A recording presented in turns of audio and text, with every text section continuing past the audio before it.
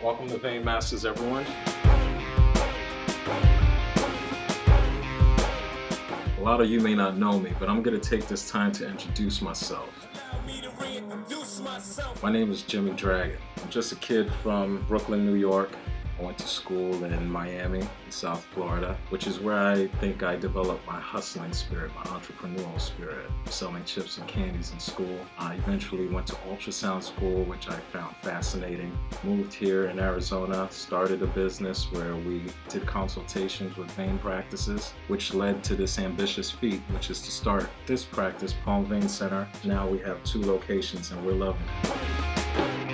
Yeah, I've learned a lot in the vein in the vein world ever since we started Palm Vein Center. We're striving for excellence. There's always an education process. You always got to stay abreast with all the latest technologies. Managing a staff is also challenging and also ensuring that everything in the office is running the way it's supposed to be. You know, having success in the vein industry has been very rewarding, but there's more that I'd like to be able to accomplish.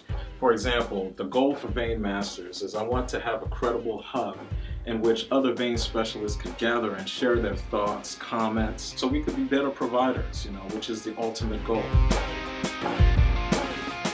We have a lot of great ideas in store, but our main focus is to try to help you. Maybe you're a vendor or a mobile ultrasound business that'd like to maybe utilize our video montage to promote your brand. If that's the case, send me an email. What we're doing here is greater than promoting one particular practice over another. So we'd love full support of the community by liking and sharing our page. Follow us on Facebook and let's make this thing grow.